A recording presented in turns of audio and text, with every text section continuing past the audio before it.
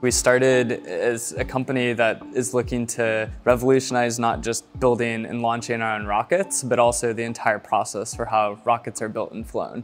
We've built the largest metal 3D printers in the world, as well as actually launching satellites to space. Tell me a little more about the printing process. It's not just one giant piece, like you don't just start at the bottom and end at the top and there's a rocket. Right, so we printed in about 20 foot tall sections. So our target's to actually be able to build uh, an entire rocket from raw material to flight in under 60 days, which compares to about two to three years with traditional processes. And we also, through 3D printing, really view it as a way to automate the process. So we have, you know, a normal rocket has about 100,000 individual parts, and ours has less than 1,000 total major components. And then also supply chains are usually very complicated as well. So you have, you know, hundreds to thousands of suppliers um, making parts that are all ultimately built by hand in a factory that looks really impressive with lots of capex and fixed tooling, but we really see 3D printing as a way to replace all of that tech stack, which has really existed in aerospace for the last 60 years. But there's multiple kinds of printing, because obviously you wouldn't use the same type of printer or printing process or even materials for the, the shell, the fairing, as you would for a valve or an injector or something like that. So what are there? What are the different types that you're using? So one, we actually developed ourselves fully in-house. It's the largest metal 3D printer in the world. Uh, we call it Stargate.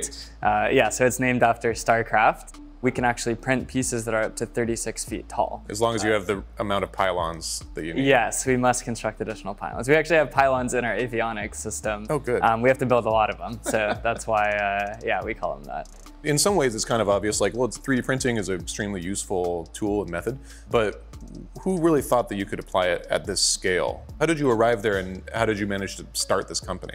I met my co-founder Jordan. We were at USC. We were part of a student group called USC Rocket Lab that ended up being the first student group in the world to launch a rocket to space. That got me a job at Blue Origin. Uh, he went off to SpaceX. And while at Blue Origin, I was a propulsion engineer. So I actually got to work together with the senior team and then Jeff Bezos uh, to start the metal 3D printing program at Blue Origin. Uh, and then Jordan at SpaceX was working on the Super Draco engine, which for them was, was 3D printed. But we really saw that everyone was just doing this 3D uh, printing you know, part by part, and that we really felt like this was the inevitable future that we need to go to Mars because it's important for expanding possibilities for human experience, and that 3D printing was the only technology that was going to make that future happen faster, and we could actually be that company.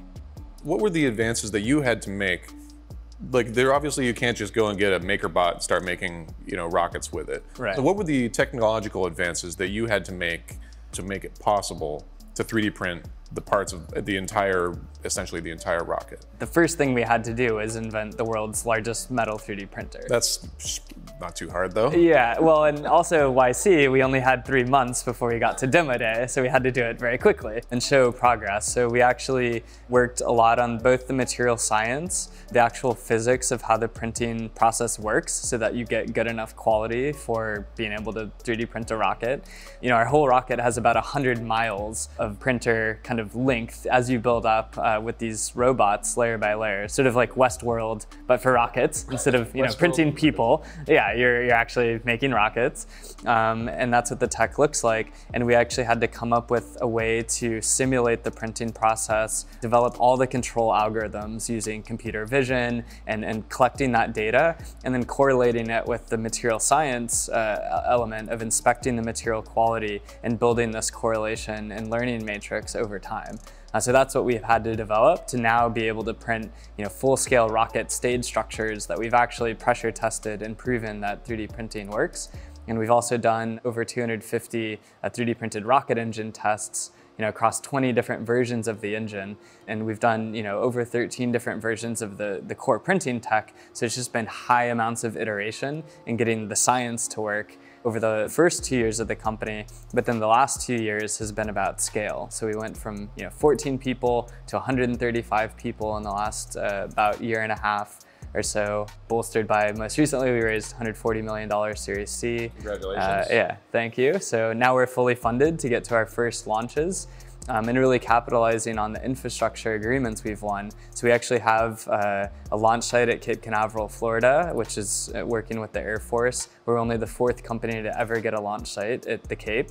And then we also have seven different engine and vehicle test stands at NASA's Stennis Space Center exclusively for the next 20 years. So that kind of infrastructure platform lets us develop uh, our 3D printing tech and is big uh, enablement by these kind of government public-private partnerships to let us build the future. How close are we to yeah. launch and what do you need to get, what do you need to prove to get to launch?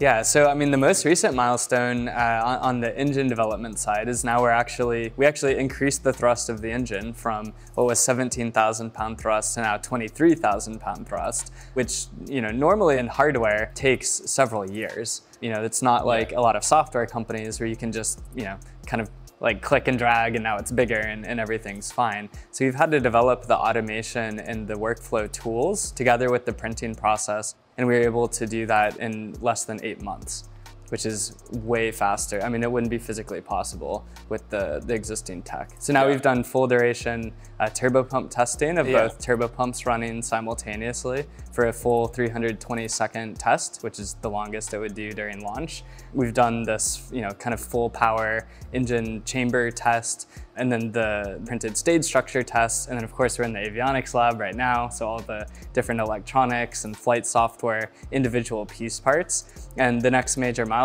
is gonna be putting all of that together into a full stage test um, which we're on track for this year. This year? Yeah, and towards flights next year. Okay, so assembly this year, launching next year. Yes, 2021.